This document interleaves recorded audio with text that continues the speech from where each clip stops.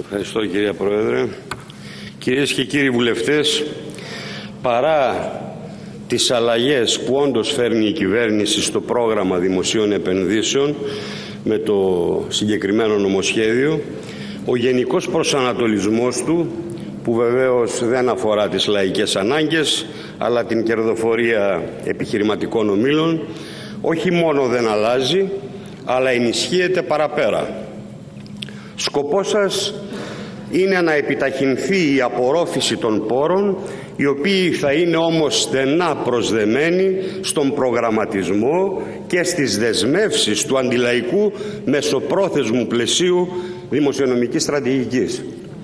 Το εθνικό σκέλος του προγράμματος δημοσίων επενδύσεων θα εξαρτάται δηλαδή πιο έντονα και θα εξυπηρετεί το σκέλος της συγχρηματοδότησης πάντα στα πλαίσια του μεσοπρόθεσμου και των κριτηρίων που επιβάλλει η ανάλγητη πολιτική της Ευρωπαϊκής Ένωσης, η, γνωστή, η γνωστή πλέον σε όλους επέσχυντη πολιτική κόστους-οφέλους που απαξιώνει τις πραγματικές κοινωνικές ανάγκες.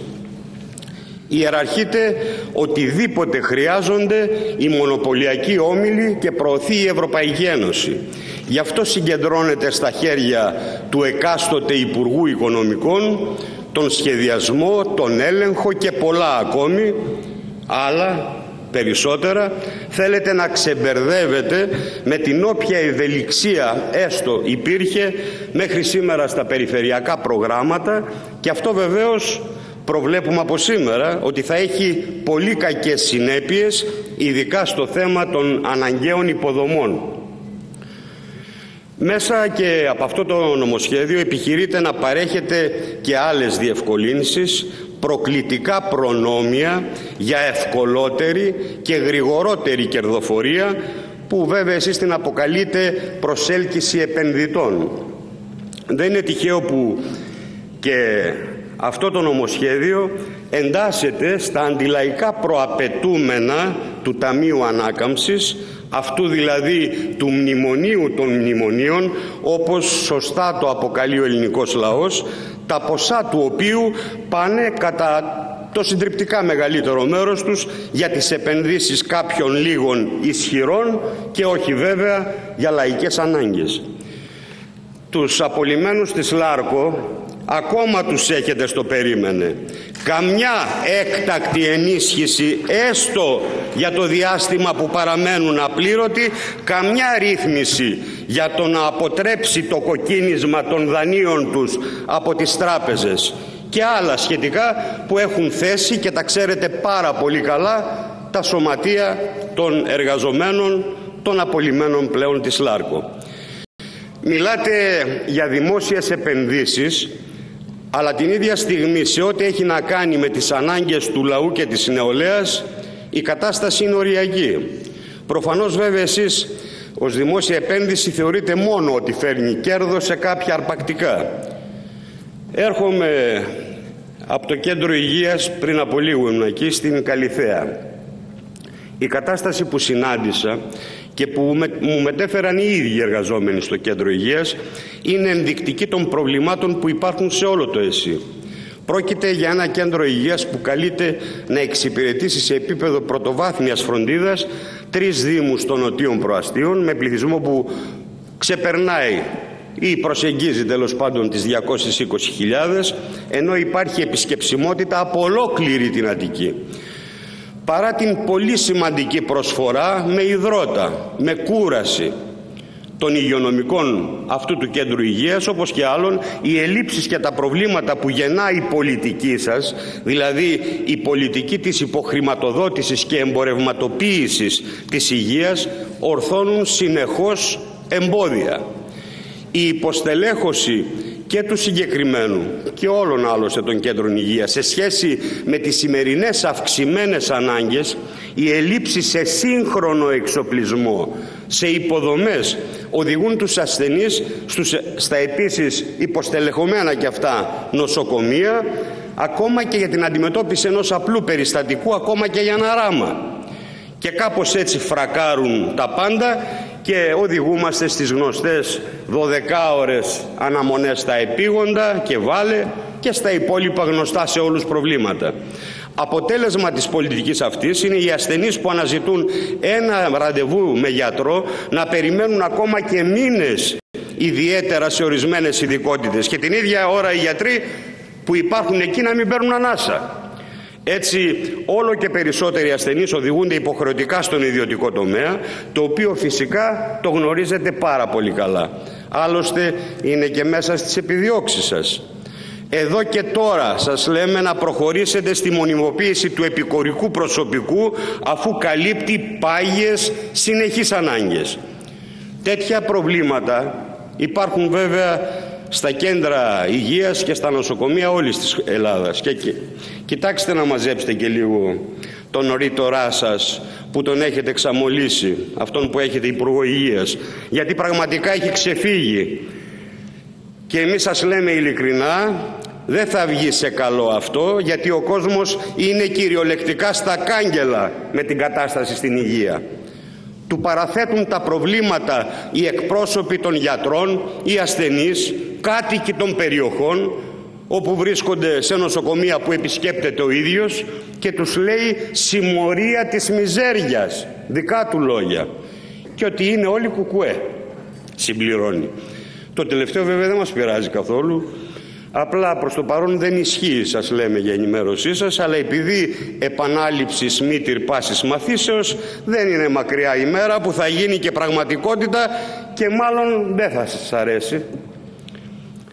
Σας κάνουμε εδώ μέσα ερωτήσεις με συγκεκριμένα ζητήματα που πρέπει άμεσα να αντιμετωπιστούν όπως για παράδειγμα προχτές ο βουλευτής μας και αντιπρόεδρος της Βουλής ο Γιώργος Ολαμπρούλης για το Πανεπιστημιακό Νοσοκομείο της Λάρισας και αυτός απαντάει άλλα ντάλλον. Βγάζει άναρθρες κραυγές για τη Σοβιετική Ένωση που τη θυμήθηκε 35 χρόνια έχει πέσει η Σοβιετική Ένωση και ό,τι άλλο τέλος πάντων βλέπει κάθε βράδυ στον ύπνο του ή κατεβάζει στη στιγμή η κούτρα του εδώ μέσα. Αφήστε που εκτίθεστε κιόλα και με διάφορα μαργαριτάρια που αμολάει αλλά αυτή είναι άλλη συζήτηση και θέλει αρκετή ώρα να φάμε. Ανάλογα προβλήματα υπάρχουν και στην παιδεία. Κυριολεκτικά έχουν γεμίσει τα email της κοινοβουλευτικής μας ομάδας με υπομνήματα, με καταγγελίες, με αντιδράσεις φορέων των εκπαιδευτικών, των γονιών, στις διοικήσεις μάλιστα των οποίων σε πολλές περιπτώσεις βρίσκονται δικοί σας άνθρωποι της Νέας Δημοκρατίας.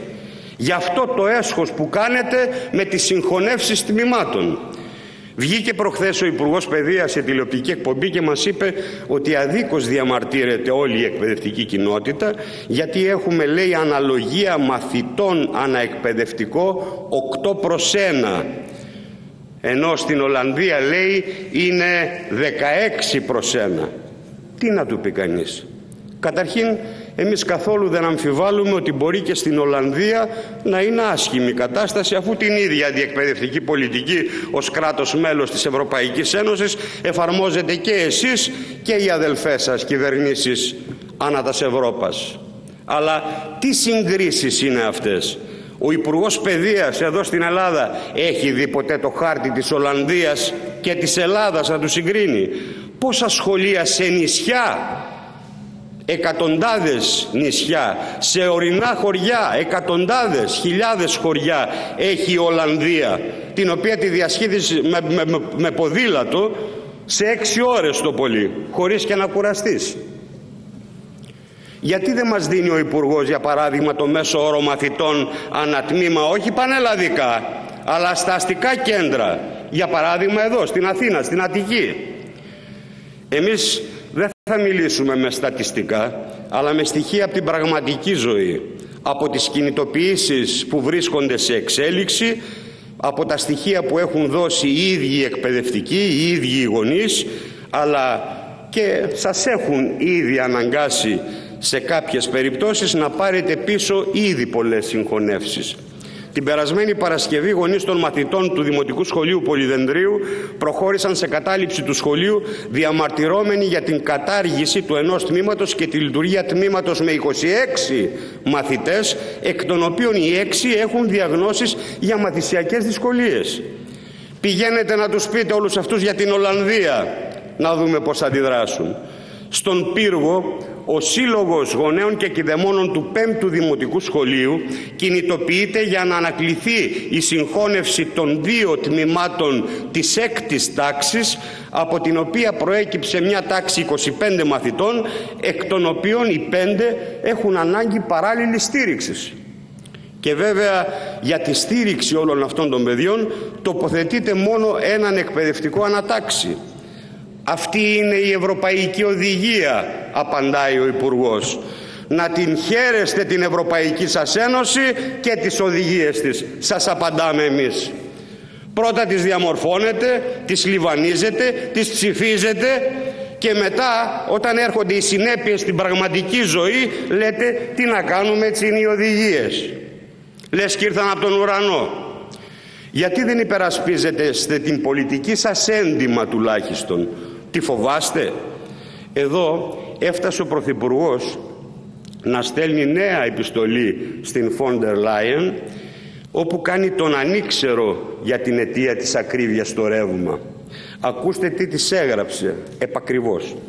Το σύστημα είναι τόσο πολύπλοκο και αδιαφανές που είναι σχεδόν αδύνατο να κατανοήσουμε τι ακριβώς επηρεάζει τις τιμές σε κάθε δεδομένη στιγμή. Έχουμε δημιουργήσει ένα κατανόητο μαύρο κουτί ακόμα και για τους ειδικούς. Κυριολεκτικά η επιστήμη σηκώνει εδώ τα χέρια ψηλά. Πρώτα κάνατε όλοι μαζί το ρεύμα χρηματιστηριακό προϊόν, τζόγο δηλαδή, για να μιλάμε απλά ελληνικά. Και μετά αναρωτιέστε γιατί ανεβαίνει η τιμή. Ας ανατρέξει ο Πρωθυπουργός τους νόμους για την απελευθέρωση της ενέργειας, τους οποίους ψήφισαν οι σημερινοί και οι προηγούμενες κυβερνήσεις.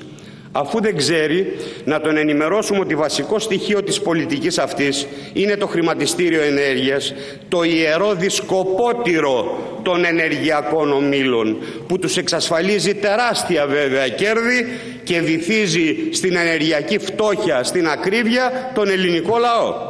Είναι επίσης η πολιτική της πράσινης ονομαζόμενης μετάβασης, της οποίας είναι και σημεοφόρος. Και φυσικά εξακολουθείτε να εμφανίζετε τον πόλεμο στην Ουκρανία σαν κάποιο εξωγενή παράγοντα που συμβάλλει στην άνοδο των τιμών αφού η Ουκρανία λέτε είναι πλέον σημαντικός καθαρός εισαγωγέας. Μόνο που δεν λέτε ότι έχετε κι εσείς σοβαρή ευθύνη για τη διαιώνιση του πολέμου αφού στέλνετε όπλα στο καθεστώς Ζελένσκι και στηρίζετε όλες τις σχετικές πολεμικές αποφάσεις της Ευρωπαϊκής Ένωσης και του ΝΑΤΟ. Αλλά ξέρουμε, θα μας πείτε ότι στηρίζετε τον αμυνόμενο. Δεν πείθεται όμως πλέον κανέναν, όχι μόνο γιατί όλοι ξέρουν και καταλαβαίνουν πια ότι οι συγκεκριμένοι, όπως και κάθε σύγκρουση μεγάλων καπιταλιστικών δυνάμεων έχει μόνο επιτιθέμενους που είναι εδώ στη συγκεκριμένη περίπτωση και τα καπιταλιστικά κράτη-μέλη του ΝΑΤΟ και η καπιταλιστική Ρωσία με τους δικούς της συμμάχους.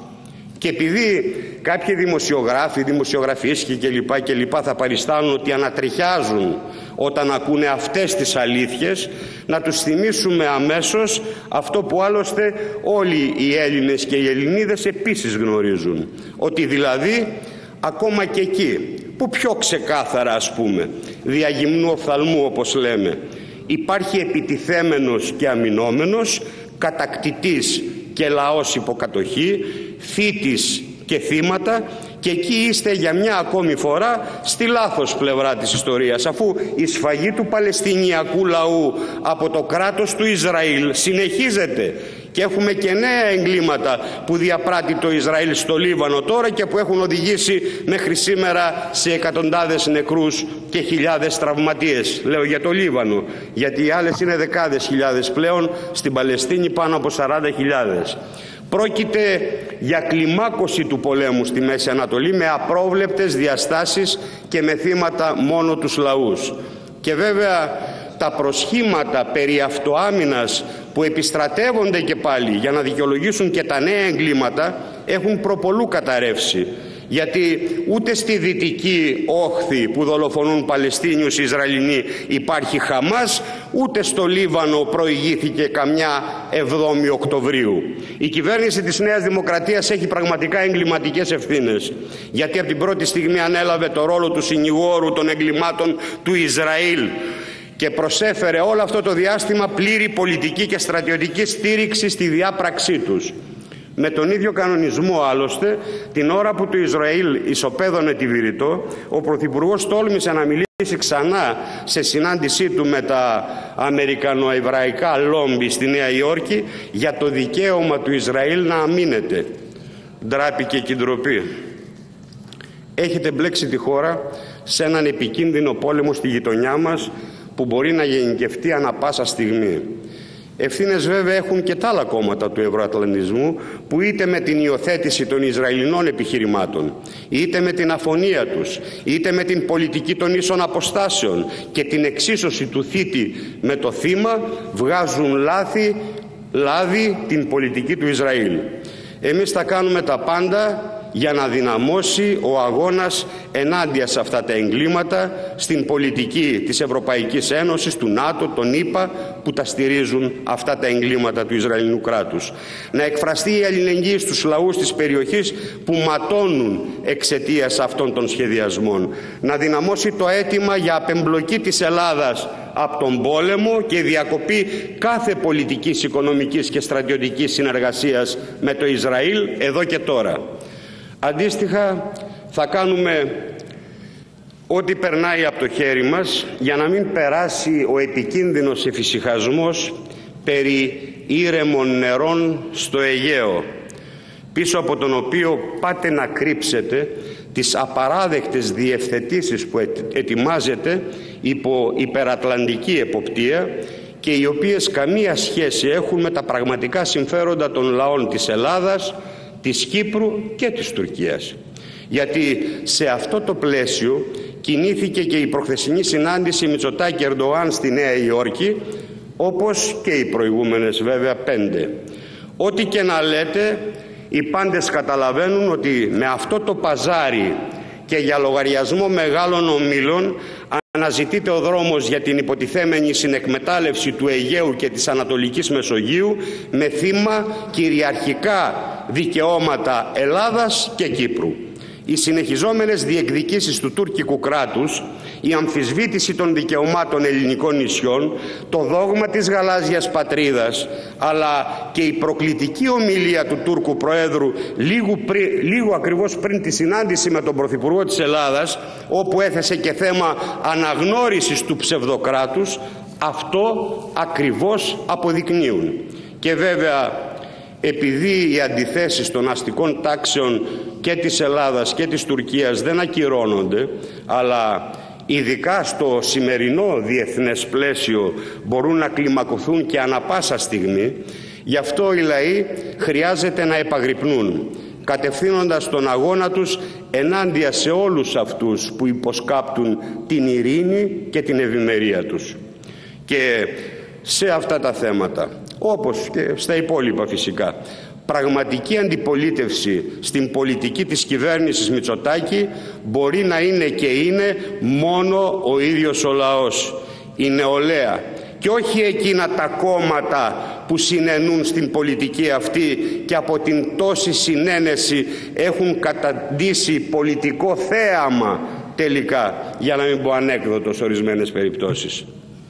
Αυτή η πραγματικότητα δεν κρύβεται παρά το γεγονός ότι έχουν πέσει από πάνω λυτοί και δεμένοι όλο το σύστημα, διάφορα κέντρα και παράκεντρα, συμφέροντα, προκειμένου με το στανιό να πάρει τα πάνω του αυτός ο φθαρμένος πόλος της αμαρτωλής σοσιαλδημοκρατίας. Έχουμε φτάσει στο σημείο όποιος ανοίγει το στόμα του και κάνει ένα σχόλιο για τον ένα ή τον άλλο δελφίνο είτε στο ΣΥΡΙΖΑ είτε στο ΠΑΣΟΚ να γίνεται τηλεοπτική είδηση την ώρα που κυριολεκτικά ο κόσμος καίγεται, την ώρα που υπάρχουν τόσα λαϊκά προβλήματα και ξεδιπλώνονται σημαντικοί αγώνες έξω στους δρόμους, διεκδικήσεις, οι οποίοι βέβαια είναι πάντα θαμένοι. Είναι όμως και αυτή μια από τις πολλές υπηρεσίες της σοσιαλδημοκρατίας στο σύστημα και στην κυβέρνηση αυτή της Νέας Δημοκρατίας. Όμως όσο και αν κάποιοι θέλουν να τα κρύβουν κάτω από το χαλί είναι εδώ και τα πιεστικά λαϊκά προβλήματα και οι μεγάλες προκλήσεις της εποχής μας. Είναι εδώ και η μόνη εναλλακτική διέξοδος για το λαό και τη χώρα η πραγματική γνήσια εργατική λαϊκή εξουσία και διακυβέρνηση αυτή που προτείνει το Κομμουνιστικό Κόμμα Ελλάδας. Είναι εδώ η πολιτική πρόταση, το πρόγραμμα του ΚΚΕ, το οποίο εμείς το καταθέτουμε ανοιχτά στο λαό μας, κάθε μέρα και μέσα στους αγώνες όσους διεξάγονται αυτή την περίοδο και στους τόπους δουλειάς και στους τόπους μόρφωσης και στους τόπους κατοικίας στις πόλεις και στα χωριά μας. Αγώνες στους οποίους δεσμευόμαστε ότι θα συνεχίσουμε να πρωτοστατούμε κόντρα στην άδικη και εχθρική για την πλειοψηφία του ελληνικού λαού